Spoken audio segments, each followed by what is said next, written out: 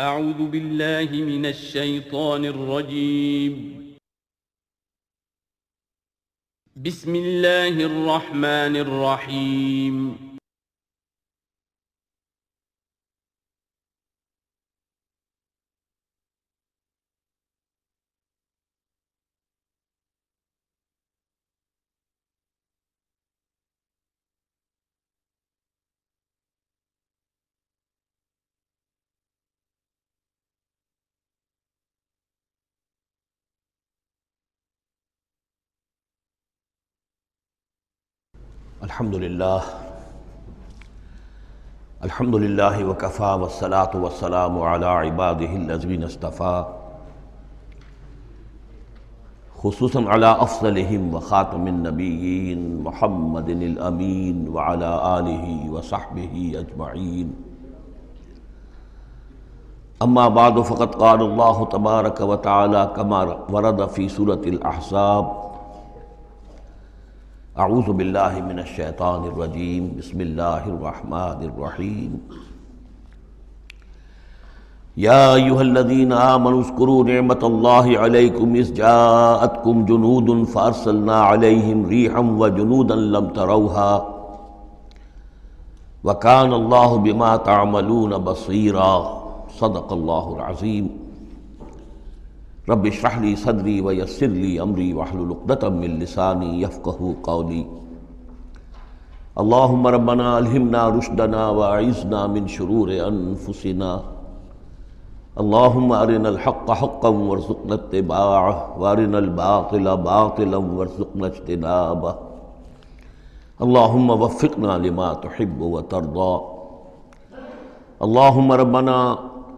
Anne's वहशतना फ़ी कबूर ना वरहमना बिलकुरानफ़ीम अल्लाह मजालना इमाम व नूरम व हदम व रहम अल्लाह मज़क्ना मिनहुमा नसीना वालम ना मिनहुमा जहिलना।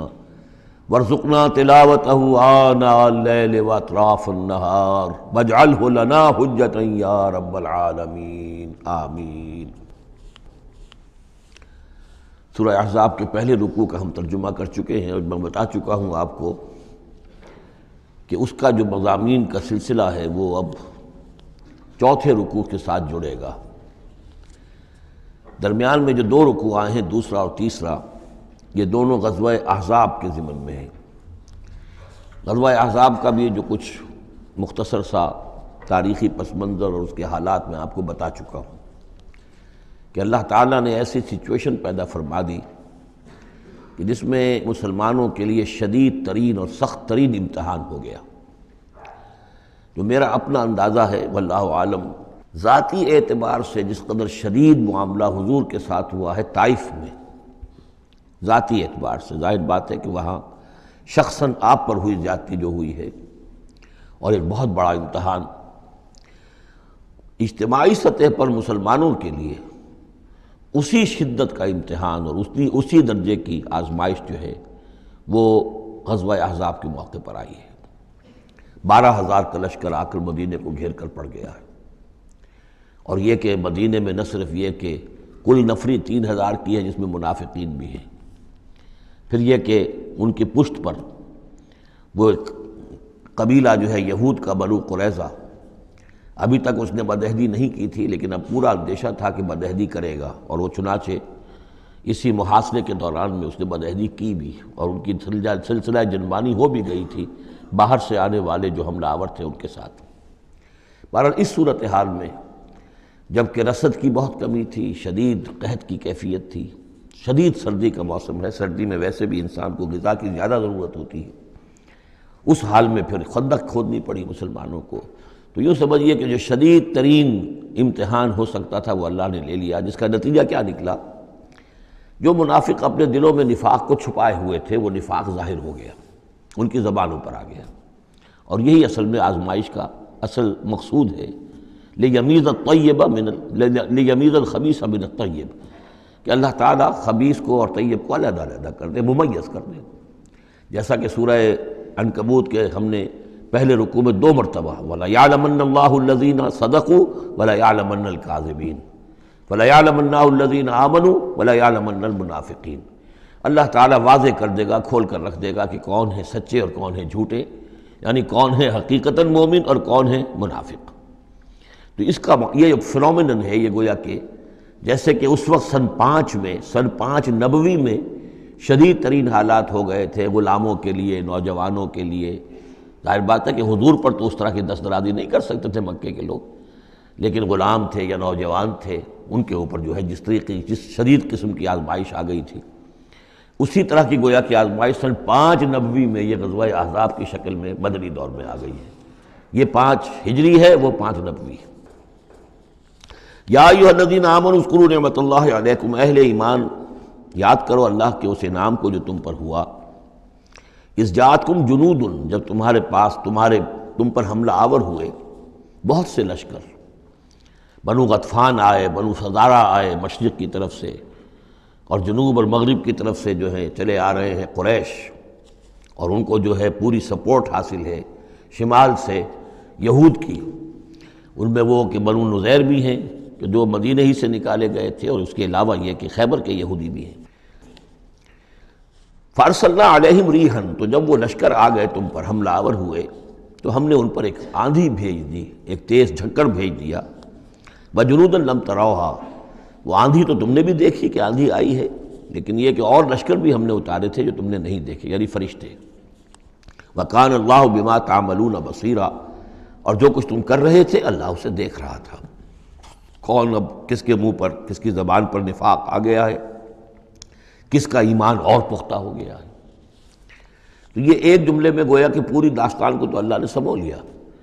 बीस पच्चीस दिन तक मुहासरा रहा, इक्का दुक्का मुबारजत हुई। अम्र इबन अब्द वद आया, वो उनका बहुत ही पूरे अरब का माना हुआ जो है, वो शह सवार भी था और बहुत बड़ा वो लड़ाका आदमी, नब्बे बरस की उम्र। लेकिन ये कि उसके मुकाबले में आने की कोई ज़रूरत नहीं करता था। जब वो आया है और उसने अपने घोड़े को वो एड़ लगाई है कि छलांग मारकर पूरी जो थी वो खंदक उसको उसको पार करके आ गया और अकेला इधर आके खड़ा हो गया कि आओ कोई है तुम्हारा मुकाबला जो मुझसे कर सके। बहरहाल, सब लोग शशतर हैरान थे कि अब इसके मुकाबले में कौन जाए। बिलाखिर हज़रत अली निकले रज़ी अल्लाह ताला तो हज़रत अली ने उससे कहा, बल्कि उसने कहा, मेरे मुकाबले में जो कोई भी आता है, मेरी आदत है ये कि मैं उसे पहले तीन मौाक़े देता हूँ कि वो कोई दरख्वास्त मुझसे करे जो मंजूर कर लूँ। हज़रत अली ने कहा, मेरी पहली दरख्वास्त ये है कि तुम ईमान ले आओ। कहा, नहीं नहीं, ये नहीं हो सकता। अच्छा दूसरी दरख्वास्त मेरी ये है कि तुम जंग से वापस चले जाओ। उन्होंने कहा यह भी नहीं हो सकता। तीसरी बोलो तो हज़रत अली ने फरमाया अच्छा आओ फिर मुकाबले में आओ। ये तीसरी दरख्वास्त ये कि आओ, मुझसे मुकाबला करो। तो वो हंसा कहका लगाया कि मेरा अंदाज़ा नहीं था कि पूरे अरब में कोई शख्स मुझे ये भी कह सकता है कि मुझसे आओ मुकाबला करो। बहरहाल हज़रत अली ने उसे वासिल जहन्नम किया रज़ी अल्लाह तह तो इस किस्म की इक्की दुक्की मुबारजतें हुई, कोई बाकायदा जिसको कहते हैं, कोई मुठभीड़ लश्करों की, वो नहीं हो सकी। लेकिन ये कि पच्चीस दिन का मुहासरा तूल खींच गया था, उधर वो हज़रत नईम इबन मसूद अशजई ने जो भी कुछ सिलसिला जनबानी किया कोई सरी झूठ तो नहीं बोला, लेकिन यह कि एक तौरिए के अंदाज में ऐसी शक्ल पैदा कर दी कि जिससे बनी कुरैज़ा के और उनके दरमियान भी कम से कम बद अतमादी ज़रूर पैदा हो गई फौरी तौर पर। फिर वो आंधी आई, शदीद, और अल्लाह ने जो फरिश्ते भेजे, उन्होंने क्या किया ये हमें नहीं मालूम। क्या शक्ल इख्तियार की कि बहरहाल वो सब के सब अपने पड़ाव उठाकर और चले गए। लेकिन जो इस दौरान सूरत रही है, उसका नक्शा खींचा जा रहा है। इस जाऊ को मिनफौकुम अमिन असफला मिनकुम, जबकि वो आए लश्कर तुम्हारे ऊपर से भी, तुम्हारे नीचे से भी। ये जो जोग्राफियाई जो सिलसिला है अरब का, मैंने कई दफ़ा आपको बताया है कि शिमालन जनूबन, ये जो हिजाज का पहाड़ी सिलसिला चलता है, शिमालन जनूबन, उसी में मक्का है, ताइफ है, मदीना है, उसी के आखिर में ऊपर जाकर तबूक है। तो इस पहाड़ी सिलसिले और साहिल के दरमियान एक मैदान है, ये तहामा कहलाता है, तहामा नीचे है। भारत मैदान है वो तो अब पहाड़ी सिलसिला आया। फिर ये कहीं तीस मील, कहीं चालीस, कहीं पचास मील चौड़ा जो ये पहाड़ी सिलसिला, उसके बाद जो आता है, वो सतह मुर्तफ़ा है, वो ऊँची सतह है। लेकिन मुर्तफ़ा, उसमें पहाड़ी सिलसिला नहीं है, सतह है। तो इस जाओ को मिनफौक कुम तो गोया कि जो उधर से आए हैं, वो ऊपर से आए हैं, जो मशरक से आए बनु गतफान वगैरह के जो कबाइल आए। और मिन मिन असफला मिनकुम, नीचे से, जो तिहामा की तरफ़ से होकर आए हैं, वो कुरैश का लश्कर जो है कि जो मक्के से होकर आया है। वही जागत अबसार और जबकि निगाहें कज हो गई थी, जिसे हम कहते हैं कि निगाहें पथरा गई खौफ के मारे। वह बलगतलकलूबुल हनाजरा और जब दिल जो है, वो हलक में आ गए थे, हंसलियों में आकर फंस गए थे। जब आदमी के ऊपर दहशत हो तो इस तरीके से मालूम होता है, जैसे हम कहते हैं दिल बल्लियों उछलने लगा तो मालूम होता है जब दिल की धड़कन तेज होती है कि शायद वो निकल जाएगा यहाँ से। व तजुन्नून बिल्लाह जुनून, और तुम फिर अल्लाह के बारे में बड़े तरह तरह के गुमान कर रहे थे। अब दिल में तुम्हारे ख्याल आ रहे थे। हुनाल कब तुलियल मोमिनून, उस वक्त अहले ईमान का खूब इम्तहान ले लिया गया। इब्तला खूब हमने कर ली, जाँच लिया, परख लिया। वजुलजलू जिलजाल शदीदा, और वो हिला मारे गए झजोड़ दिए गए। वही यकूल मुनाफिकून, अब नतीजा क्या निकला? जबकि कह रहे थे वो मुनाफिक, वल्लजीन फ़ी कलूब ही मरद और जिनके दिलों में रोग था। माँ वादन अल्लाह व रसूल गुरूरा। हमसे अल्लाह और उसके रसूल ने जो वादे किए थे, झूठे साबित हुए। हमें सब्ज बाग दिखा के मरवा दिया अल्लाह ने और उसके रसूल ने। हमसे कहा था, कैसर और किसरा की सल्तनतें तुम्हारे कलबों में आएँगी। हमसे कहा था, अल्लाह की मदद आएगी। ये कहाँ अल्लाह की मदद आई? बाद मुनाफिकीन ने कहा, हमारा हाल तो ये कि हम कदाए हाजत के लिए बाहर नहीं जा सकते हैं। हम मदीने के अंदर महसूर हो गए हैं। ज़ाहिर बात है कि सैनिटेशन का भी कोई निज़ाम नहीं था, किस कदर वहाँ पर इससे एक मसला पैदा हो चुका हो बाहर निकल नहीं सकते बिल्कुल। तो कदाए हाजत वगैरह भी वही हो रही है। तो यह उनके मुँह पर जो है, उनकी ज़बानों पर जो अंदर का खुब्स था, अंदर की गंदगी थी, ज़बानों पर आ गई। माँ वादन अल्लाह व रसूल गरूरा। नहीं वादा किया था हमसे अल्लाह उसके रसूल ने, मगर झूठा, धोखे का वादा। वह इस काल तायफत मिन या यसरब और जबकि उनमें से एक ग्रोह यहाँ तक कह रहा था, ए यसरब वालो, ला मकाम लकुम फ़र्ज़ अब तुम्हारा कोई ठिकाना नहीं है, लौट जाओ यहाँ से। कहाँ तुम मुकाबला कर सकते हो? ये बारह हज़ार का लश्कर आ गया, कोई मुमकिन है? कोई इम्कान तुम्हें नज़र आता है? तो किसी तरीके से कहीं से भागने के लिए रास्ता तलाश करो। वही अस्ताद फ़रीकुम मिन हम नबिया और उनमें से एक ग्रोह जो है आकर नबी से इजाज़त तलब कर रहा था। यकूल इन बयूत और और वो कह रहा था कि हमारे तो घर खुले पड़े हुए हैं। यानी घरों को अंदेशा है, घरों के ऊपर पीछे से बनु कुरैदा के लोग हमला आवर हो जाएँ। हमारी औरतें वगैरह जो हमने चंद चंद हवेलियों के अंदर जिनको जमा किया है, आपने यही किया था हजूर ने सल्लल्लाहु अलैहि वसल्लम? ख़वातीन को, बच्चों को एक ऐसी जगह पर कि जहाँ वो वस्ती इलाका था, मदीने का, और वहाँ बड़ी कोई हवेली थी, उसमें जमा कर दिया था। तो वो तो हमें तो अंदेशा है, हमारे घर खाली पड़े हुए हैं, उसके ऊपर हमला हो सकता है। वमा ही अब और, हालाँकि वो नहीं खुले पड़े हुए थे। अल्लाह ताला ने और अल्लाह के रसूल ने पहरे वगैरह का बंदोबस्त किया हुआ था।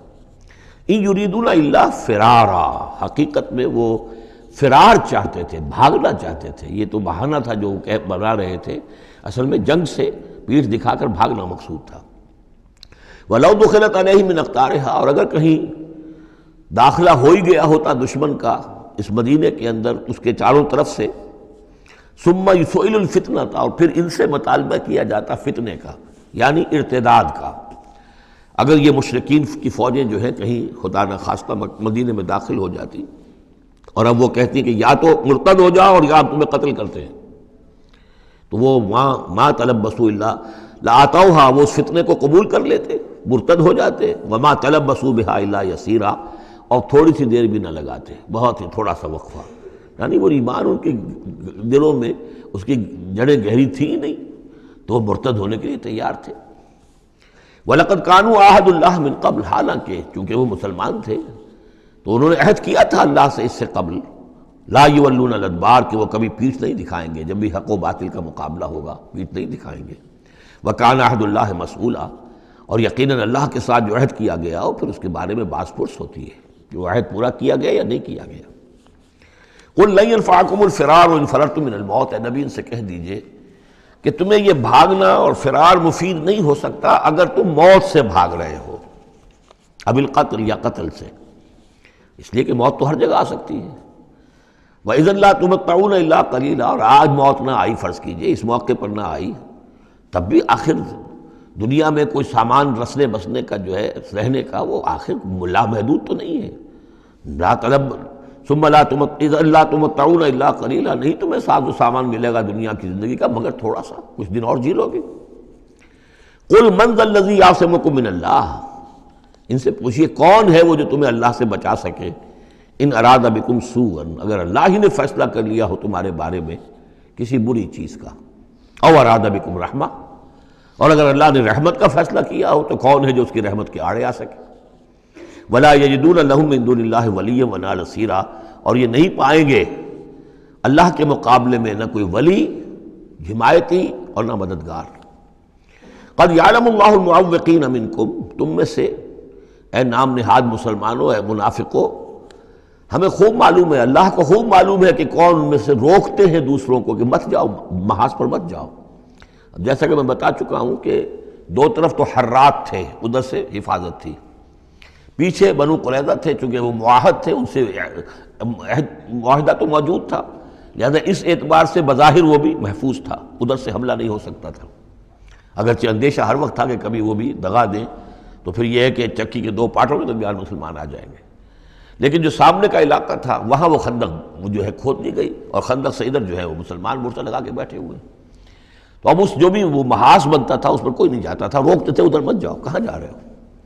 कद यालमल्लावकीन तुम में से जो लोग रोकते हैं दूसरों को वलकायलिन अखवान हलुम्मा लेना और जो कहते हैं अपने भाइयों से आओ हमारी तरफ़ आओ घरों में घुस जाओ छुप जाओ तुम्हारा जो है कहीं नामो निशान न रहे कहाँ जा रहे हो मौत के मुँह में वला यातून अलबास अल्ला कलीला और वो नहीं आते हाजिर नहीं होते जंग में यानी मैदान जंग में जहाँ पर के फ़ौजों का पड़ाव है आमने सामने का मामला मगर कभी किसी वक्त शाज अशीहतन अलैकुम। ए मुसलमानों, ये तुम्हारे हक़ में बहुत बकील है। कोई खैर नहीं चाहते तुम्हारे लिए।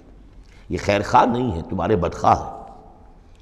फ़ैज़ा जाल खौफ और रायता हूँ और जब अगर खौफ अगर चला जाए, ये लश्कर चले जाएँ, ये खौफ की कैफियत ख़त्म हो जाए रायता हूँ इज़ा जा खौफ, जब खौफ आता है, खौफ की कैफियत पैदा हो जाती है। खौफनाक सूरत हाल रायता हूँ यंदरून का तो ए नबी आप इनको देखते हैं कि आपकी तरफ़ ऐसे देख रहे होते हैं, तदूर आयुनहम कल्लजी युशाबिनमौत कि उनकी आँखें ऐसी फिरती हैं जैसे कि उस शख्स की आँख फिरा करती है कि जिस पर मौत की गशी तारी हो रही हो। क्योंकि अब मरहला आ गया ख़तरे का, फिर जंग है, फिर जाना पड़ेगा, फिर वही सारी सूरत हाल सारे अंदेशे, सारे ख़तरात तो गोया कि उनको मौत की गशी और नज़ा की कैफियत की में जो होती है, आँखें जिस तरह के पथरा जाती हैं या फिरती हैं, इस तरीके से तदूर आयुनहम कल नज़ी युक्षा मिनलमौत फ़ैज़ा जहाबल खौफ और जब खौफ चला जाए, ख़त्म हो जाए, यानी वो सूरत हाल जैसे कि बाद में हो गई कि चले गए, लश्कर जब चले गए तो अब उनका तरीक़ार क्या है? फ़ैज़ा जहाबल खौफ सलकूकुम अलसरतिन हिदादिन। अब वो तुम पर पिल पड़ते हैं अपनी लोहे की ज़बानों के साथ, यानी ज़बान कैंसियों की तरह चलनी शुरू हो जाती है। मुसलमानों पर तनकीद भी है, अपने ईमान का इजहार भी है चर्फ ज़बानी भी है। तो हिदाद लोहे की जैसी, जैसे इनकी ज़बानें लोहे की हो तो हमारे मुहावरे में कैंसी की तरह ज़बान का चलना। सड़क जो है अरबी मुहावरे में, अरबी लगत में आता है बस तुम बेकहरिन इम्मा बिलियत और बिलसान किसी के पर हमला अवर होना, या हाथ से या ज़बान से। तो सलकूकुम बेअलसनतिन हिदादिन अशीहतन खैर। और फिर जो भी कोई माल गनीमत होगा, उसके ऊपर ये ऐसे होंगे, झुके पड़ेंगे कि माल सारा हमें ही मिल जाए। उलाए कलम योमनू, ये वो लोग हैं कि जो हकीकता ईमान नहीं लाए। फ़ाहबत अल्लामाल तो ए नबी, इन्होंने इस कैफियत में जो भी कोई नेकियाँ की हैं, बज़ाहिर नेकियाँ, आपके इमामत में नमाजें भी तो पढ़ी हैं ना इन्होंने?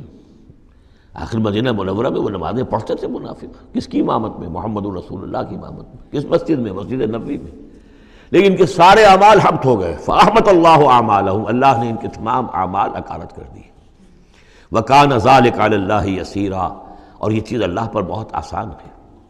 या सबून अलहजाब अलम यजबू। जबकि जा चुके हैं लश्कर। इनका हाल ये है कि इनके ऊपर अभी तक खौफ तारी है। जैसे होता है कि किसी बड़े हादसे के बाद भी बहुत देर तक आसाब के ऊपर जो है वो एक तरह की कपकपी तारी रहती है इंसान के, सनसनाहट सी रहती है, इतना बड़ा हादसा हुआ है। या समून अलहजाब अलम वो ये समझते हैं कि वो गए नहीं है, कहीं इधर छुप गए हों, कहीं फिर दोबारा आ रहे हों, कहीं हमला दोबारा तो नहीं कर रहे हैं। ये कोई उनके टेक्टिकल मूव तो नहीं थी कि ज़रा पीछे हट के फिर हमलावर करें। या समून अलहजाब अलम ये समझते हैं कि वो लश्कर गए नहीं है। वही यातिल अहजाब, और अगर कहीं दोबारा वो लश्कर जो है, वो फौजें जो हैं, दोबारा कहीं हमला आवर हो जाएँ यवद्दूलबादून फिल आराब तो उनकी बड़ी ख्वाहिश होगी, काश कि हम मदीने को छोड़कर कहीं रेगिस्तानों में चले गए होते और कहीं नखलिस्तानों में जाकर आराब आराब की हैसियत के साथ हम हम उनके साथ चले गए होते, बादिया नशीनों के पास। या सलून का नम बायकुम। और वहाँ से मुसलमानों तुम्हारी खबरें मालूम करते रहते। अब क्या हुआ? ऊँट किस करवट बैठा? वला कानू फ़ीकुम मा कातल कलीला। और अगर ये तुम्हारे दरमियान मौजूद भी रहे तो किताल में तो हिस्सा नहीं हो लेते। मगर शास दिखाने के लिए, खाना पुरी जिसे हम कहते हैं। अब एक किरदार तो ये है जो सामने आ गया। दूसरा किरदार क्या है? लक़त कान लकुम फ़ी रसूल उसवत हसना। दूसरे किरदार का जो दूसरी तस्वीर है, उसका जो खुर्शीद है, सूरज है, वो मोहम्मद रसूलुल्लाह का किरदार है। फरमाया मुसलमानों, तुम्हारे लिए अल्लाह के रसूल में एक उसवा है, नमूना है, बेहतरीन नमूना। अब ये बात नोट करने की है कि ये आयत हमारे यहाँ सीरत की तकारीर हों, कोई मिलाद की महफिलें हों, कोई वाज हो तो उसमें बहुत पढ़ी जाती है ये आयत उसवा हसना। लेकिन आम तौर पर हमारे यहाँ उसवा हसना क्या है? छोटी छोटी सुन्नतें, उनका तस्करा होगा। मिसवाक करना भी उसवा है, ठीक है है। इसी तरीके से और सुनते हैं। मस्जिद में दाखिल हो तो दाहना पाँव आगे आना चाहिए, बायां नहीं, ठीक है। होना चाहिए, एक शख्स को करना चाहिए, एहतमाम करना चाहिए, हुजूर का यही मामूल था। ये सब भी उसवे में शामिल है। असल उसवा ये है, कुफर के मुकाबले में जान हथेली पर रखकर मैदान में आना यह है उसवा। ये उसवा हमारी निगाहों से ओझल मोहम्मद रसूलुल्लाह का मिसाली किरदार किस एतबार से? जब भूख थी शरीर हजूर को भी भूख थी और फाका था। जब साहबा ने आके शिकायत की कि हजूर नाकाबिल बर्दाश्त हो गई है ये भूख, देखिए हमने अपने पेटों पर पत्थर बांधे हुए हैं। ताकि ये कि मैदे को वो जो हंगर कंट्रैक्शंस होती हैं, वो ना हो। उसको कम से कम झूठा ही सही एक दिलासा हो कि कुछ बोझ है मेरे ऊपर। वो बोझ चाहे पत्थर का हो, खाने का ना हो। ये सब पत्थर बांधे हुए कमर दोहरी ना हो जाए हमारी। हजूर ने अपना कुर्ता उठा के दिखाया, वहाँ दो पत्थर बंधे हुए। और उसी हाल में जब जब साहबा कुदालें चला रहे हैं और खोद रहे हैं तो हजूर जो है अपने कंधे पर बड़े बड़े पत्थर उठाकर ले जाकर और बाहर फेंक रहे हैं। इसी में आप शरीक हैं पूरी तरीके से। ये है उसवा। ऐसा नहीं था कि बस हजूर तो कहीं एक जगह बैठे हों और खेमा लगा हो और मोर छल चले जा रहे हों, समझे आप? और सब ठंडी छाँव आपको फराम की गई हो और बाकी सब लोग जो इस काम में लगे हुए हैं। ये उसवा है मोहम्मद का वसल्लम। लक़द कान लकुम फ़ी रसूल हसना। इसी को मैं कहा करता हूँ जदीद अतलाह में। एक है मैक्रो इकनॉमिक्स और एक है माइक्रो इकनॉमिक्स तो माइक्रो सुन्नत को तो लोग जानते हैं, ये सुन्नत है, ये सुन्नत है। उसमें से बास के बारे में बड़े झगड़े भी हैं रफ़ा दैन सुन्नत है या नहीं है। लेकिन मैं इस तरह, उस मसले पर नहीं जा रहा हूँ। लेकिन मैक्रो सुन्नत जो है, सबसे बड़ी सुन्नत जो है, वो तो ये है कि वही के आगाज़ के बाद से लेकर, चालीस बरस की उम्र के बाद से लेकर हुजूर ने एक लहजा, एक मिनट माश की जिद्दोजहद में सर्फ नहीं किया। पूरी ज़िंदगी, पूरा वक्त, पूरी तोानाई पूरी कुत दावत दीन इकामत दीन दीन की दावत, दीन की इकामत, इसी में लगाई। कोई जायदाद नहीं बनाई, कोई कारोबार। हालाँकि इससे पहले आप बहुत कामयाब, ताजिर थे, कारोबार करते थे। लेकिन जब ये फ़र्ज़ मनसबी आ गया, या मुदसर कौम फ़ानजर व रब का फ़कबिर अब यही काम है। तो कुछ तो इसकी भी पैरवी करने की कोशिश की जाए। उस दर्जे में न सही, वो अक्स तो हो। मैक्रो सुन्नत जो है, किसी दर्जे में तो अपनी ज़िंदगी के अंदर उसका अक्स पैदा किया जाए। हाँ उसके साथ फिर छोटी छोटी सुन्नतें भी हो जाओ तो क्या कहने हैं? फिर नूर अला नूर है। लेकिन ये उस मैक्रो सुन्नत का तो है ही नहीं। अपने तो सारी तोानाई सारी ताकत, सारा वक्त दुनिया बनाने में। तो लक़द कान लकूफ़ी रसूल उसवतुलहसनतमन कान यरजुल्लावलयौमल आखिर। बड़ी अहम आयत है ये। उसवा तो हजूर का अपनी जगह पर मुकम्मल है, कामिल है। लेकिन ये किसके लिए उसवा है? जो ये दो शर्तें पूरी करे, तीन शर्तें। जो अल्लाह से मुलाकात का उम्मीदवार है, अल्लाह से मोहब्बत करता है, और योम आखिर पर यकीन रखता है, और ज़कर अल्लाह कसीरा और ज़िक्र करता है अल्लाह का कसरत के साथ। ये बिल्कुल वही बात है कि कुरान मजीद तो हिदायत है पूरी नौ इंसानी के लिए। हदलनास लेकिन कुरान से इस्तेफादे की शर्त है तकवा। हदलमतकीन तो जो रब तो ताल्लुक़ है उन दो आयतों में वही समझिए कि अपनी जगह पर हजूर की ज़िंदगी एक उसवा कामिला है, मुकम्मल। लेकिन इससे इस्तेफादे की शराइ है लिमन काना यरजुल्ला वलयौम आखिर व ज़कर अल्लाह कसीरा। अब ये अहले ईमान, हुजूर के बाद अहले ईमान का तस्करा हो रहा है। मोहम्मद रसूलुल्लाह माहू। अब माऊ जो थे अहले ईमान। वलम्मा राल मोमिन अहजाब, और जब अहले ईमान ने देखा उन लश्करों को कालू, हाजा रसूल सदक अल्लाह रसूल उन्होंने कहा, यही तो है जिसका अल्लाह ने वादा किया था हमसे और उसके रसूल ने वादा किया था। अब देखिए, एक ही सिचुएशन है, उसका रिएक्शन किस कदर एक दूसरे से मुख्तलिफ़ है। मालूम यह मसला है इंसान का अंदरूनी। युदिल्लो बही कसीरा वयादी बही कसीरा। तो जैसे कुरान के बारे में आया, उसी तरीके से, इस सिचुएशन से भी। उन्होंने क्या कहा, हमने तो सुना हुआ है, पहले ही अल्लाह ने कह दिया था वला नबलवन्नकुम बिशई मिनल खौफ वलजू व नक्स मिनल अमवाल वल अनफुस वसमरात ये कुरान मजीद में, सूरह बकरा में आयत नहीं आ चुकी थी। लतुमलमुन्न फिल फ़ी अम्वालकुम, फ़ी अनफुसकुम व अम्वालकुम। ये क्या सूरह आल इमरान में आयत नहीं आ चुकी थी? ये तो चीज़ें वही तो है जिसका कि हमसे वादा किया था। वलम्मा राल मोमिन जब देखा अहले ईमान ने उन अहजाब को, कालू हाजा मा वादन रसूल व सबक अल्लाह रसूल और बिल्कुल सही कहा था अल्लाह ने भी, और बिल्कुल सही फरमाया था उसके रसूल ने भी। व मा ज़्यादा ईमान व तस्लीमा। और नहीं हुआ उनमें किसी शय का इजाफा, मगर ईमान और तस्लीम। ईमान के साथ तस्लीम, सर तस्लीम खम। सर तस्लीम खम है जो मिजाज यार में आए, जो अल्लाह की तरफ़ से फैसला है जैसा कि हम पढ़ चुके हैं सूरह तौबा में अगर सूरह तौबा तो बहुत बाद में नाजिल होगी। अभी चार साल बाद में इस इस सूरह मुबारक के वो ज़माना नजूल के अतबार से।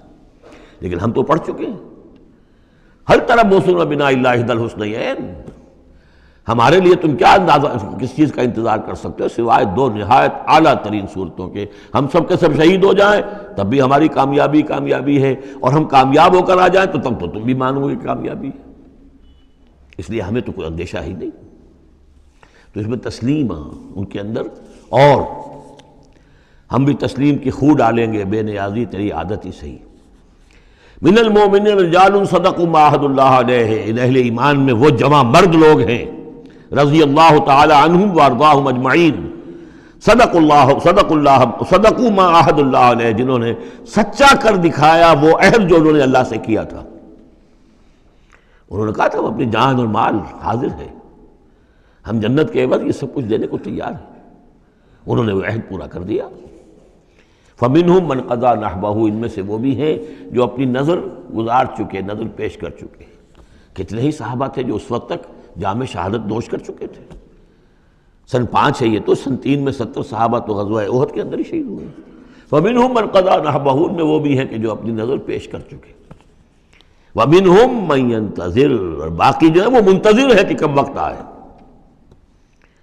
ये तो हम इंतज़ार में है कि कब अल्लाह ताला हमें भी शहादत का दर्जा दे हमारी भी शहादत कबूल फरमा ले। वबाल दो शसर जिसमें नातवा पे मगर लगा रखा है तेरे खंजर सना के लिए। हम तो अल्लाह अल्लाह मुंतजिर हैं कि कब हमारी बारी आ जाए। फ़मिन हम मनकदा नहबहू वमिन हम मैन तज़िर वमा बदलू तब्दीला। और उन्होंने हरगिज़ तब्दीली कोई नहीं की जो उन्होंने अहद अल्लाह से किया, सरे मुँह उसमें फ़र्क नहीं आने दिया। ले यजी अल्लाह सादकीन ताकि अल्लाह ताला सच्चों को उनकी सच्चाई का पूरा पूरा बदला दे। वयुआज़िबलमुनाफ़िकीन इनशा और यतूब आलहिम और इन मुनाफिकों को चाहे तो उन पर अजाब भेज दे, और चाहे तो अभी उनकी तोबा कबूल कर ले, उन्हें तोबा का मौका दे दे। ये मैं बता चुका हूँ कि आखिरी जो फैसला हुआ वो जब गजवा तबूक का मामला हुआ है, फिर आखिरी फैसले हुए हैं। या सूर्य निसा जो है, उसके अंदर भी वो आयत आ गई थी कि फिर दरक असफल मिनन्नार लेकिन आखिरी चीज़ क्या नबी इस्तफ़िर लहूँ अवला तस्तफ़िर लहूँ इन तस्तफ़िर लहूँ सबीन मरतन फ़लग फ़र लहूँ कि अब आप इन मुनाफिकों के लिए इस्तफ़ार करें या न करें? अगर सत्तर मरतबा भी इस्तफ़ार करेंगे, तब भी अल्लाह इनको माफ़ नहीं फरमाएगा। इन अल्लाह का न गफ़ूर रहीमा यकीन अल्लाह गफ़ूर रहीम है। वरदल्लाजीन कफर, अल्लाह ने लौटा दिया उन काफिरों को जो चढ़ कर आए थे बड़े शान शौकत के साथ। वो पूरे लश्कर जो है सब चले गए। बेगैर वो अपने गुस्से को साथ ही ले गए। वो गुस्सा जो है, वो निकाले बगैर, या तो कोई जंग होती, कुछ वो कत्ले आम करते तो कुछ गुस्सा उनका निकलता। अल्लाह ने उनको उनके गुस्से के साथ ही वापस कर दिया। वरमदल्लाजीन कफर बगैर लम खैरा। उन्हें कोई खैर हासिल ना हो सका, कोई फतह होती, कोई कारनामा सर अंजाम दिया होता, कुछ नहीं। व कफल लाहुलमोमिन अलकताल। और अल्लाह काफ़ी रहा अहले ईमान की तरफ़ से कताल के लिए। अहले ईमान को तो जंग की नौबत ही नहीं आई। खुली जंग तो हुई नहीं। अल्लाह ने खुद ही आंधी भेज कर और जो भी अपनी खुफिया तदाबीर हैं, जो भी अपनी मदद थी फरिश्तों के ज़रिए से, अल्लाह ताला ने गोया कि अहले ईमान को इस इम्तहान में से तो गुजार दिया, बाकी यह कि कोई गज़न नहीं पहुँचने दिया। वकान अल्लाह कवी अजीज़ा, और यकीन अल्लाह ताला कवी और अज़ीज़ है, ज़बरदस्त है, क़वत वाला है। वह अंजल ज़ाहर अब ये दूसरा है, इसका जो ज़मीमा है गजवा अहजाब का, वो गजवा बनी कुरैज़ा है।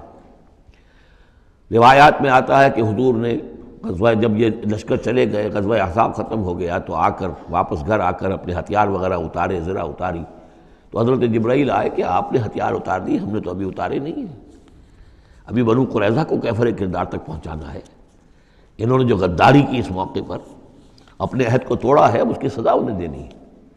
तो नाच हजूर ने हुक्म दिया कि अब कोई मुसलमान जो है असर की नमाज़ ना पढ़े या कोई मगरब की नमाज़ ना पढ़े, जो भी कोई वक्त मुन किया, जब तक कि वो बनी कुरैजा के इलाके में पहुँच ना जाए। वहाँ जाकर अब हमें, अब वहाँ जाके फिर उनका घेराव किया गया, मुहासरा हुआ। वो मुहासरा भी खासा तवील हुआ। उनका किला बड़ा मज़बूत था। लेकिन तंग आकर बिल आखिर उन्होंने हथियार डाल दिए और ये कहा कि साद इबन मास जो रईस औस थे और उनके हलीफ थे। औस के कबीले के साथ उनकी पुरानी जो है, वो हलीफी ताल्लुक़ थे, हलीफाना ताल्लुक़ कल जो वो फैसला कर देंगे, हमें मंजूर होगा। तो हज़रत साद इबन माज ने रज़ी अल्लाह तन जो तौरात में फ़ैसला लिखा हुआ है बदअहदी का, कि कौम अगर तुम्हारे साथ बदअहदी करे, और उसके बाद अल्लाह तुम्हें उस पर फतह दे दे तो क्या करो? उसके मुताबिक फ़ैसला सुनाया, कि इनके जितने जवान हैं, इस कबीले के, जो जंग करने के काबिल हैं, उनको कत्ल कर दिया जाए। और बाकी जो इनके बूढ़े हों या और हों, मर्द हों, बच्चे हों, औरतें हों उनको जो है ग़ुलाम बना लिया जाए उनका सारा माल जब्त हो जाएगा। तो बदतरीन सज़ा जो है उन तीन कबीलों में से, जिनमें से एक कबीला था बनी कैनका का, एक था बनु नज़ैर। ये दोनों तो सिर्फ़ जिला वतन हुए लेकिन बदतरीन सज़ा फिर इनको दी गई है। वानजीन ज़ाहरूह मिनहल किताब, और अल्लाह ने उतार लिया उनको कि जिन्होंने गठजोड़ किया था उनके साथ, काफिरों के साथ, मुशरकिन के साथ अहले किताब में से, मिन सयासी हिम उनके किलों से। किलों में तो थे, गढ़ियाँ थी उनकी, लेकिन उससे फिर उतर आए, हथियार डाल दिए। वह कदफ़ हफ़ी कलूब रोम, और अल्लाह ने उनके दिलों में रोम डाल दिया। फ़रीक़न तख्तलून तो अब तुम एक, उनमें से कुछ को तुम कत्ल कर रहे हो। वह तासरून फ़रीक़ा, और कुछ को तुमने असीर बना लिया है और कैदी बना लिया है। हज़रत साद इबन मास के फ़ैसले के मुताबिक। वह और सकम अर्द हम व दयार हम अल्लाह ने तुम्हें वारिस बना दिया, उनकी ज़मीनों का भी, और उनके मकानों का, घरों का, उनके कुलों का। वह अमवाल और उनके अमवाल का। वह अर्दन लन ततऊहा और अभी बहुत सी ज़मीनें हैं जिन पे अभी तुम्हारे कदम नहीं गए। अल्लाह ताला तुम्हें वो देगा।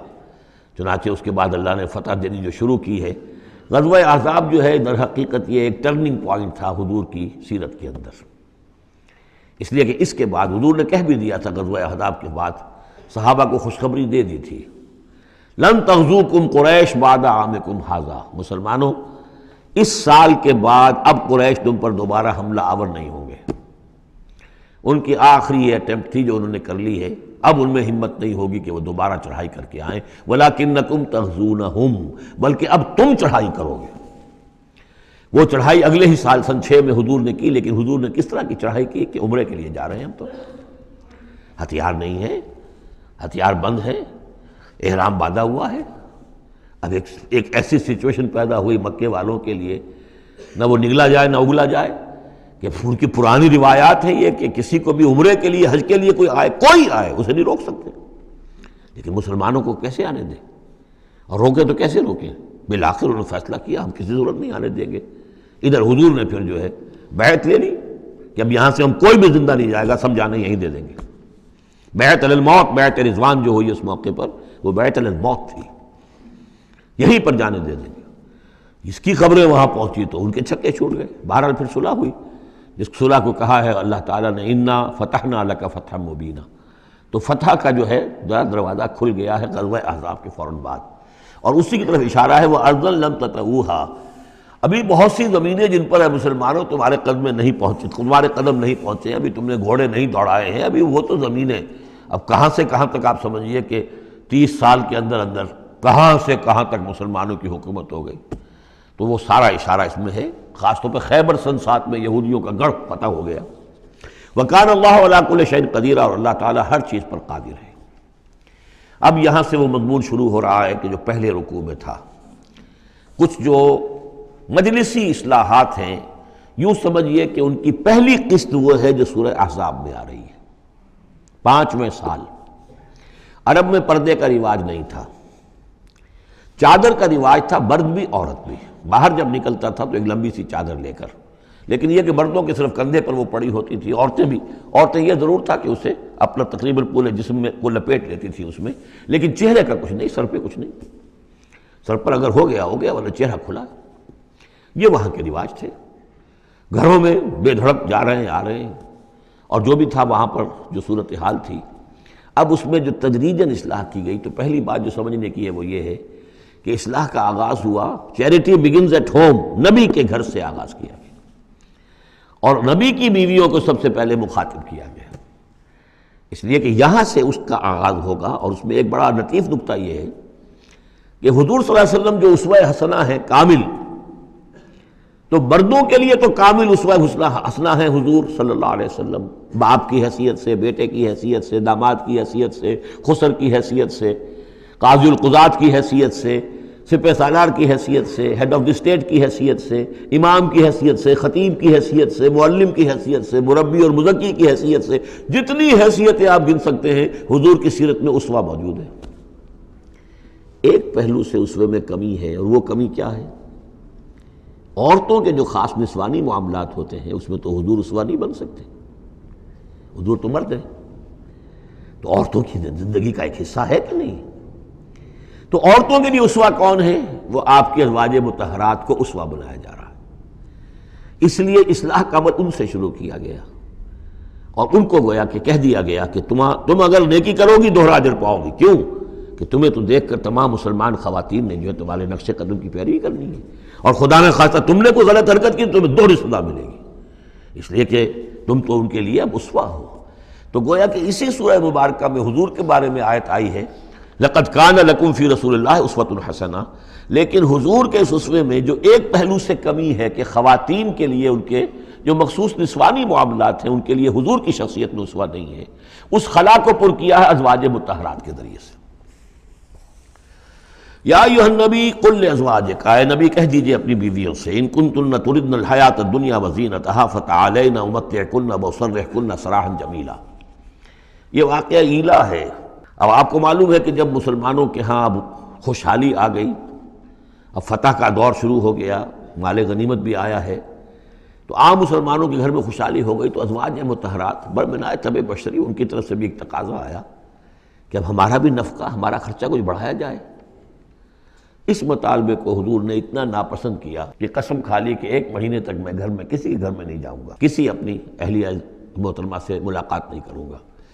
और मस्जिद के साथ ही एक बाला खाना सा था, उसमें आपने अपना जो है वो क़्याम कर लिया। तो एक तूफ़ान बच गया मदीने में। अब हज़रत अबू बकर की बेटी हज़रत आयशा हजूर के घर में है, हज़रत उमर की बेटी हज़रत हफ्सा हजूर के घर में है। कि अब ये क्या हो रहा है? क्या इनको तलाक हो जाएगी? क्या होगा? हजूर ने क्या फ़ैसला कर लिया है? इसको ईला कहते हैं। कुछ अरसे के लिए बीवियों से कता ताल्लुक़ कर लेना। और यह सूरह अल्लाजीन यूलून मिन निसाए इसका हुक्म जो है वो आ चुका है। चार महीने से ज़्यादा की इजाज़त नहीं है। लेकिन यह कि बहरहाल ये जब हजूर ने किया तो उसके बाद फिर ये आयात नाजिल हुई। क्या नबी, अब आप साफ़ बात, साफ़ दो ऑप्शन रख दीजिए अपनी अजवाज के सामने।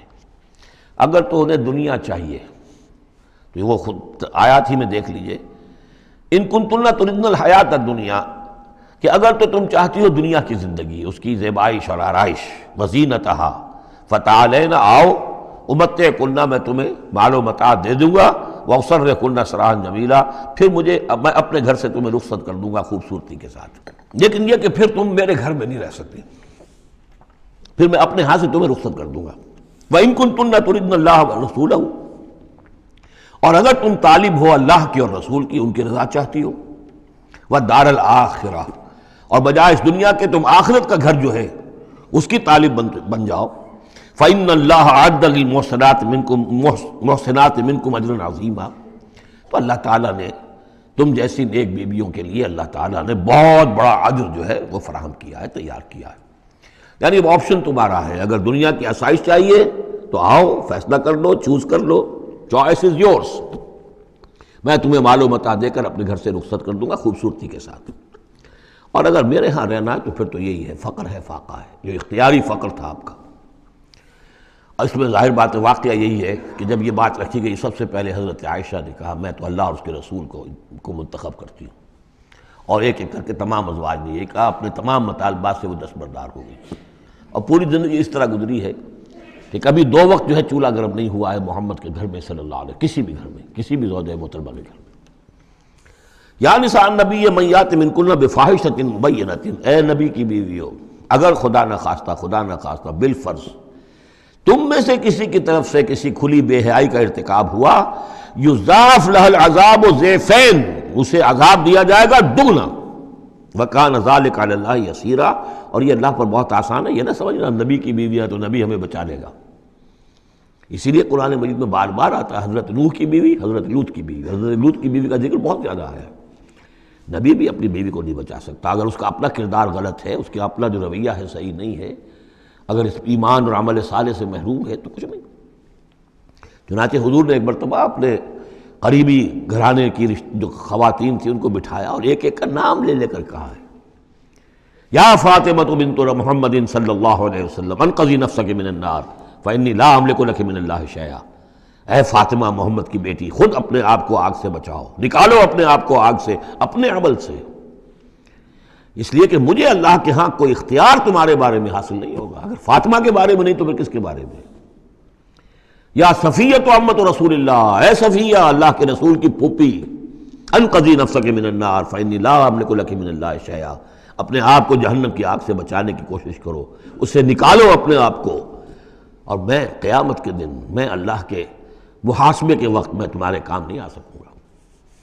वमन यकलुत मिनकुन व रसूल ही तो अब जो कोई भी तुम में से अल्लाह और उसके रसूल की इतात पर कारबंद हो जाए फर्मा बरदारी इख्तियार करे, व तामल सालहन और नेक अमल करे, नोतहा अजरहा मर्रतैन तो उसे हम उसका अजर भी देंगे दोहरा। गलती करोगी तो सजा दो दुगनी, और सही तर्ज अमल होगा, ईमान रब साले वाला तो अजर भी तुम्हारा दुगना होगा। आतदना लहा रिस्पन करीमा, और उसके लिए अल्लाह ताला ने, हमने बहुत ही रिस्क करीम बाइज़त रोज़ी का अहतमाम जन्नात के अंदर किया हुआ है। या निशान नबी लस्तुल्ला कहा दी मैंने निशा है नबी की बीवियों, तुम आम औरतों के मानंद नहीं हो, तुम नबी की बीवियाँ हो। यहाँ इसको समझ लीजिए, मुराद क्या है कि तुम्हें उसवा बनना है उम्मत की तमाम खवतिन के लिए, ता क़याम क़यामत लस्तुल्ला कहा दी मैंने निशा। अब पहली हिदायत यह दी गई तकैतुल्ला फला तखजान बिलकौल अब ज़ाहिर बात है, वो पहले यूँ समझिए कि जो मैं माशरे का नक्शा मैं खींच चुका हूँ तो लोग आते थे गुफ्तु करते थे, बेधड़क। पहली बात तो ये आपने फरमाई कि अगर तुम तकवा दिल में रखो और लोगों से बात करते हुए अपनी आवाज़ में लोच पैदा ना करो, नरमी पैदा ना करो।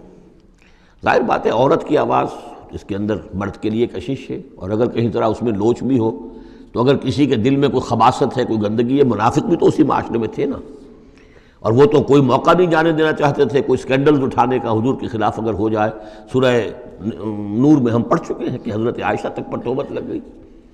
तो ये कि अगर फ़ैत माल लजी फ़ी कल्ब ही मरद कि कहीं तुम तो अपनी शराफत और मरूत की वजह से नर्म अंदाज में बात करो, और जिसके दिल में कोई रोग है, मुनाफिकत का रोग है, बीमारी है, वो कोई और ही उम्मीद लगा ले कि शायद इनकी कोई तब तो शायद मैं, यानी यहाँ पे अगर कोई मेहनत करूँ, कोशिश करूँ तो शायद मेरी दाल गल जाए, किसी किसी बुरी नीयत और इरादे को दिल में पाल ले।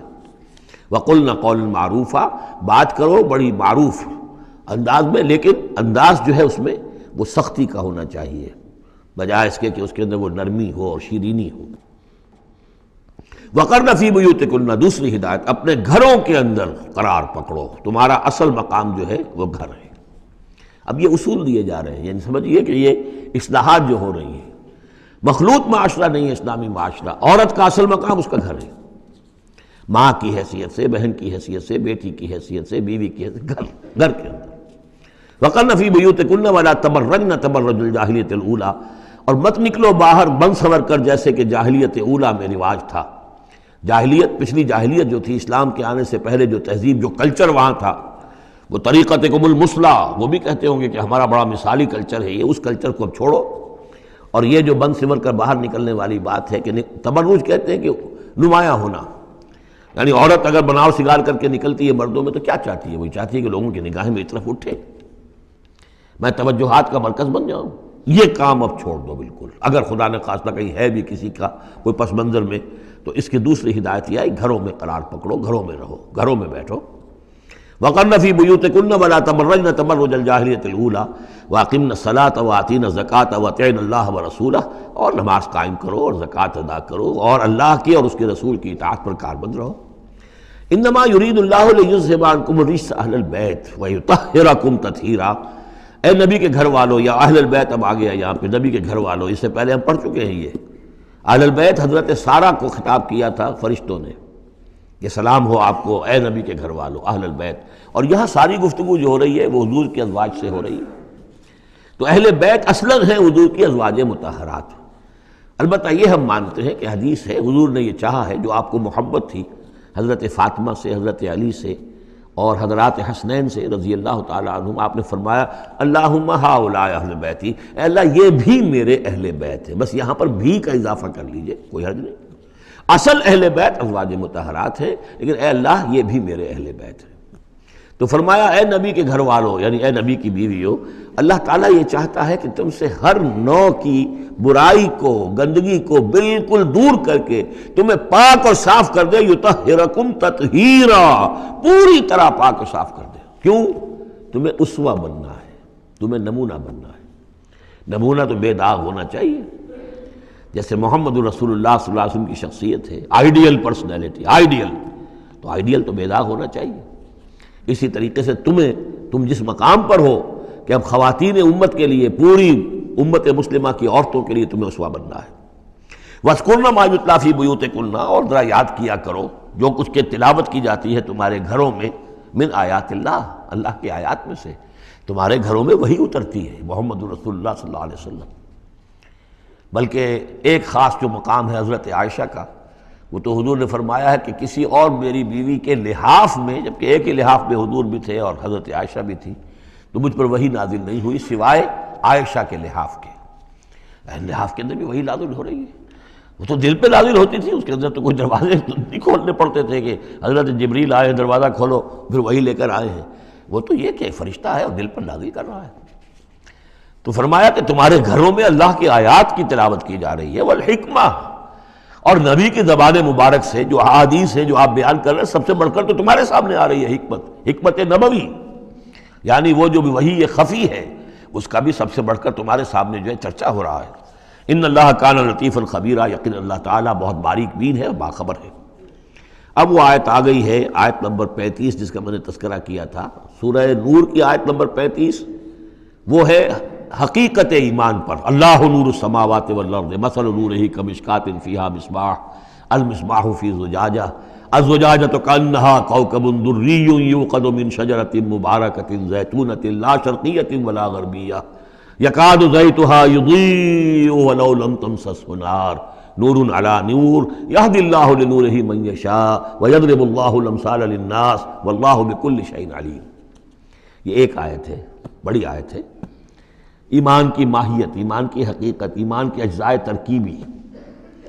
अब उस ईमान का जहूर जो इंसानी शख्सियत में होता है, और उसको अब यहाँ पे दस सिफात जो है गिनवाई गई है, लेकिन चूँकि यहाँ पे इस सूरह मुबारक का भी और सूरह नूर का भी, जैसा कि इन दोनों का मजमून ये है कि वो जो माशरती असलाह और उनमें ख़वातीन जो हैं, उनके मसाइल को ख़ास तौर पर लाया जा रहा है। तो आमतौर पर तो कुरान में यह है कि जो हुक्म भी है वो मुजक्कर के सीगे में आ जाता है, मर्दों से खिताब करके, लेकिन औरतें भी उसकी मुखातब हैं। जिसे बरसबील तगलीब कहते हैं, कायदा है। कि बज़ाहिर खिताब है अकीमसलाह मुजक्कर का सीगा है लेकिन ये खिताब जो है ये औरतों से भी है। इल्ला ये कि अभी हमने पढ़ा अकीम सलात ये यहाँ मुन्नस के, के उसमें भी आ गया लेकिन आमतौर पर कुरान में जो आया है वो तो मुजक्कर का सीगा है। लेकिन यहाँ आप देखेंगे कि उन कैफियात को और खसूसियात को जो ईमान के समरात और नतज हैं उनको दोहरा दोहरा कर मर्दों और औरतों के लिए अलहदा अलहदा बिल्कुल पूरी सराहत के साथ। इन मुस्लिमीन अवल मुस्लिमात यकीन मुसलमान मर्द और मुसलमान औरतें। यानी इतात कर लेने वाली, सर तस्लीम खत्म करने वाले मर्द और औरतें। वल मोमिन अवल मोमिनत, और मोमिन मर्द और मोमिन औरतें। वल कान तीन अवल कान तात और फरमा बरदार मर्द और फरमा बरदार औरतें। व सादकीन व सादक़ात, और रास्त रास्तबाज मर्द और रास्त रास्तबाज औरतें। सिद्ध के कौल भी सिद्ध के मकाल और सिद्ध के अमल सिद्ध के किरदार। बस साबरीन बस साबरात। और सब्र करने वाले मर्द और सब्र करने वाली औरतें। वल खाशीन वल खाशियात। और अल्लाह के सामने झुके रहने वाले मर्द और झुके रहने वाली औरतें। वलमतसदीन वलमतसदक़ात और अल्लाह के लिए सदका देने वाले मर्द और सदका देने वाली औरतें। व साइमीन व साइमात। और रोदा रखने वाले मर्द और रोज़ा रखने वाली औरतें। वल हाफिदीन फ़रूज वल हाफिजात। और अपने शर्मगाहों की हिफाजत करने वाले मर्द और अपनी शर्मगाहों की हिफाजत करने वाली औरतें। व जाकिरीन अल्लाह कसीरम व जाकिरात। और कसरत के साथ अल्लाह का ज़िक्र करने वाले मर्द और ज़िक्र करने वाली औरतें। आदफ़रत अजरन अजीमा। अल्लाह ताला ने इन सब के लिए मगफरत और बहुत बड़ा अजर तैयार कर रखा है। अल्लाह रबन जालना बिन हम अल्लाह रबन जालना बिन हम अब वो मसला आ रहा है कि जिसकी तमहीद हुई थी पहले रुकू में, हज़रत ज़ैनब रज़ी अल्लाह तह से हजूर की शादी का मामला। और उससे पहले हुजूर के कहने की वजह से हज़रत ज़ैनब का निकाह जो हज़रत जैद इबन हारसा से हुआ। फिर जैद इबन हारसा रज़ी अल्लाह तु ने जो उनको तलाक़ देनी चाहिए। फिर हुजूर के दिल में जो ये ख्याल हुआ कि मैंने पहले तो हुक्म देकर निकाह पर मजबूर किया, अब अगर ये दाग लग जाता है जैनब को तो गोया कि फिर तो एक ही शक्ल रह जाएगी उसकी दिलजोई की, तलाफ़ी की कि मैं खुद निकाह करूँ। अब मैं खुद निकाह करूँगा तो चूँकि जैद मेरा मुँह बोला बेटा रहा है पहले, एक तूफ़ान उठ खड़ा होगा। हालाँकि उसमें बात कोई नहीं थी, लेकिन यह कि हुजूर ने उसकी वजह से ये समझा कि यह मसलहत के ख़िलाफ़ होगा। तो इसी गोया कि आप उसी शशुपंज में थे कि आयात नाजिल हो गई। पहली आयत में तस्करा है उसका कि जो हुजूर के कहने की बिना पर हज़रत जैनब और उनके भाई आमादा हुए निकाह पर, वरना वो आमादा नहीं थे, जैद इब्न हारसा से निकाह पर। वमा कान मोमिन वला मोमिन व रसूल अमरन यकूल खियरतमिन अमरहीम। ये किसी भी मोमिन मर्द और किसी भी मोमिन औरत के लिए ये रवा नहीं है कि जब अल्लाह और उसका रसूल किसी शय का फ़ैसला कर दें तो फिर भी उन्हें यह ख्याल हो कि हमारे पास ऑप्शन बाकी है, हमें इख्तियार हासिल है। वम यासिल्ला व रसूल फ़कतबीद आप जो अल्लाह और उसके रसूल की नाफरमानी करेंगे, उन्होंने तो गोया कि बहुत बड़ी गुमराही जो है वो हासिल कर ली। तो ये गोया कि एक तो ये कि इसको आम हम लेंगे तो हर हर मामले के ऊपर है कि अल्लाह और उसके रसूल के फैसले के बाद फिर मैं ये समझूं कि मेरे पास कोई ऑप्शन है तो इसका मतलब है कि मैं अल्लाह का इनकार कर रहा हूँ, रसूल का इनकार कर रहा हूँ। पस मंज़र में वही है कि हुजूर की फरमाइश जो थी, इब्तदान तो चूँकि उमैमा इबन अब्दुलमुतलिब हुजूर की फुप्पी थी, जिनकी बेटी हैं हज़रत ज़ैनब। अब यूँ समझिए कि कुरैश का ऊँचा ख़ानदान है। और इधर यह है कि हज़रत जैद इबन हारसा ग़ुलाम रहे हैं, अगरचे थे शरीफ ख़ानदानों में से, अरब के, लेकिन कभी उन्हें कहीं पकड़ कर कहीं किसी ने लाकर गुलाम बनाकर बेच दिया था तो दाग तो लग गया गुलामी का। और उस माशरे में वो दाग फिर धुलता नहीं था एक दफ़ा। एक दफ़ा लग जाने के बाद। तो इस वजह से अब उन्होंने हजूर के लिए, हजूर के फरमाने की वजह से निकाह किया। उसके बाद नहीं उनकी निभी आपस में। और उसमें गुमान गालिब यही है कि हज़रत जैनब उन्हें वो नहीं दे सकी एहतराम और अदब और उनकी मर्ज़ी पर चलने का मामला, जैसा कि एक औरत को फ़सालहात कान तातुल हाफिज़ातुलगैब जो रवैया होना चाहिए, अब वो अपने जज्बात और एहसास के ऊपर उस दर्जे जो है वो कंट्रोल न कर सकी। लिहाजा उनके माबेन जो है वो मुआफ़त नहीं हुई। तो हज़रत जैद ने कई दफ़ा कहा कि, हजूर, मैं फिर उनको फारिग कर देना चाहता हूँ, तलाक देना चाहता हूँ। इस तकूल अमसिका लेकर नबी जब आप कहते थे, अब उस शख्स से कि जिस पर अल्लाह ने भी इनाम फरमाया और आपने भी इनाम फरमाया, आपने उसे आज़ाद कर दिया अपना मुँह बोला, बेटा बनाया था, ये दूसरी बात है कि अल्लाह ने वो बात ख़त्म कर दी। ये तो जैद इबन मोहम्मद कहलाता था, अब ये जैद इबन हादसा रह गया दोबारा। आप उससे कहते रहे हमसे का लेकर जौजक नहीं, अपनी बीवी को रोके रखो, घर में आबाद रखो। ज़रा और कोशिश करो, ज़रा और कि मिजाजों की मुआफ़त हो जाए। व तकिल्ला अल्लाह से डरो, अल्लाह का तकवा इख्तियार करो। व तुफ़ी नफ्स से कम अल्लाह मुबदी है और आप अपने दिल में छुपाए हुए थे वो बात, जो जिसको कि अल्लाह ताला मुबदी जिसे अल्लाह ताला खोलना चाहता है। व आप लोगों से डर रहे थे, वल्लाह अहक को अंतक्षा हो। जबकि अल्लाह ज़्यादा हकदार है इसका कि आप उससे डरें। फलम्मा कज़ा जैद वदमिनहा वतरन तो जब जैद ने उससे आखिरी कत ताल्लुक़ कर लिया, यानी ज़क़़त भी दे दी, वो तलाक भी दे दी और फिर इद्दत भी पूरी हो गई जवजना कहा ए नबी, हमने तजवीज कर दी है उसकी तुम्हारे साथ। रोजा बना दिया है, हमने निकाह कर दिया है। हज़रत जैनब फिर ये कहा करती थी, दूसरी अजवाज मतहरात से फ़ख्र करती थी कि तुम्हारे निकाह सबके जो है ज़मीन पर हुए मेरा निकाह आसमान पर हुआ है। जब हजूर ने शादी की उनसे फिर तो अल्लाह ने निकाह किया, अल्लाह ने निकाह पढ़ाया है। जवज ना कहा, हमने उसे आपकी जौजियत में दे दिया। कै ला यकून अलमोमिन हरज उनफी अजवाज अदी आहिम ताकि ये आइंदा के लिए ये जाहली रस्म का ख़ात्मा हो जाए और मुँह बेलो बोले बेटों की बीवियों के बारे में अहले ईमान पर कोई तंगी न रहे। मुँह बोला उसकी बीवी थी हो गया। आप शादी कर सकते हैं। इसी तरीके से अगर वो उसको तलाक दे दी है, शादी कर सकता है। ये मुहर्रमात अबदिया में से नहीं है। मुहर्रमात अबदिया की फिर सूर्य निसा के अंदर आ चुकी है। वकान अमरुल्लाह मफूला, और ये तो अल्लाह का वो फैसला था कि जो बहरहाल पूरा होकर रहना था। यानी ये सब कुछ जो हुआ है नबी, इसमें भी हमारी हमत थी, मसलहत थी।